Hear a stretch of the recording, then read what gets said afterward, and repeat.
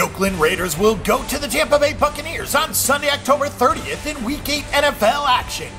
The Raiders are 4 0 straight up and against the spread on the road this season, and they'll get another crack in Florida as road underdogs against the Buccaneers. Early in the week, Tampa Bay was favored by a point, but it will be interesting to see how this line moves.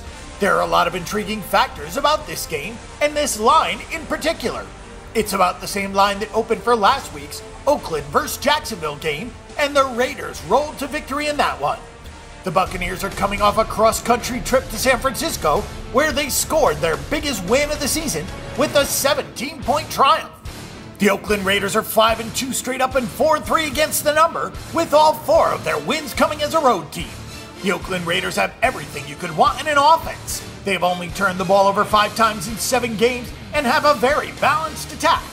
Derek Carr has completed 66% of his passes with a 13 3 touchdown interception ratio.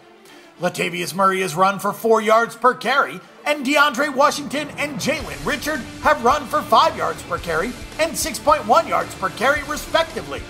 Amari Cooper and Michael Crabtree are two legitimate receiving weapons. Oakland's 5.9 yards per play is just one of the many offensive statistics that rank in the top 10, so it's all there for the Raiders. As good as the offense has been, the defense has been another story. When Oakland hasn't been able to force a turnover, they've been giving up a plethora of points. The Raiders have 13 takeaways this season, but they rank 25th in points allowed and first in yards allowed. They're the only team in the NFL to allow over 3,000 yards so far this season.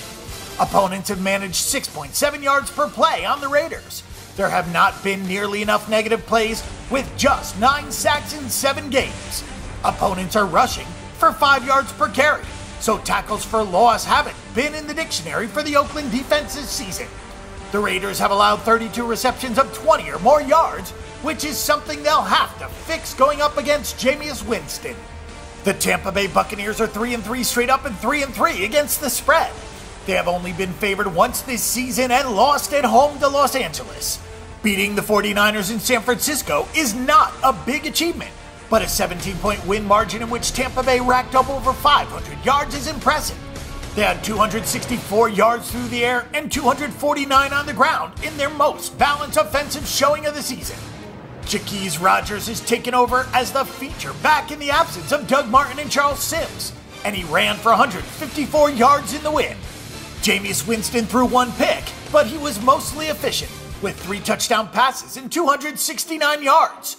This game came out of the bye week and it was a big performance. The question is, did the Bucks fix some things or was this an anomaly? The Tampa Bay defense has not been as bad as the Oakland defense, but they have had issues containing big plays. The Bucks are tied with Carolina for the most yards allowed per catch, which is not all that surprising because the majority of Tampa Bay's defensive talent is in the front seven.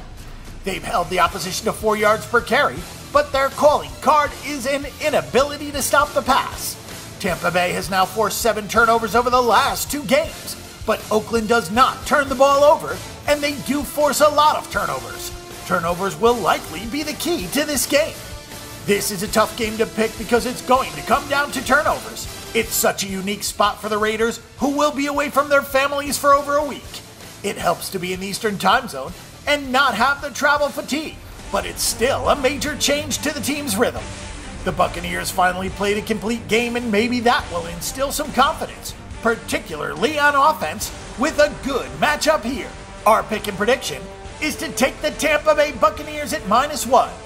Click over now and check out all the NFL and NCAA football odds on the board and make a few wagers with BetDSI.com.